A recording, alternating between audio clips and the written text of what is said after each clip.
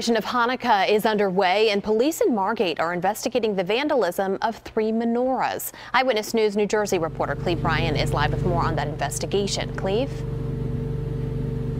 Well, you can see they're still trying to work out the kinks with the lamps on the menorah behind me here at the Katz Jewish Community Center in Margate. But yesterday, this seven foot tall menorah was in pieces. Police say it's part of a hate crime, and the person responsible has not been caught. Why would they do it at Hanukkah? Why? A holiday and heritage under attack. Horrible, just horrible. Margate police provided these pictures of three Jewish menorahs vandalized sometime between Sunday night and Monday morning. You hear about it in other places, but then when you see it happening right in your backyard, it's very upsetting. This one at the Katz Jewish Community Center had several branches snapped off.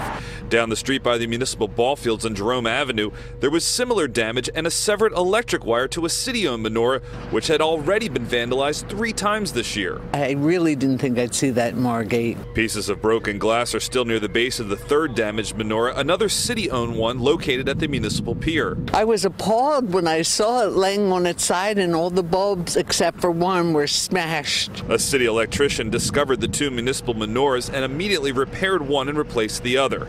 Next to them are Christmas decorations without damage. Police believe because of the religious imagery, whomever did this was targeting Jews. Instead of it just being property damage, it just basically become a, a hate crime, and the prosecutor's office and the state police get notified, and they're involved. The Katz JCC immediately made repairs on Monday too, not wanting people to miss out on the lights for the last two nights of Hanukkah. Hanukkah is a time when Jews overcame adversity and it's a festival of lights. It's a celebration.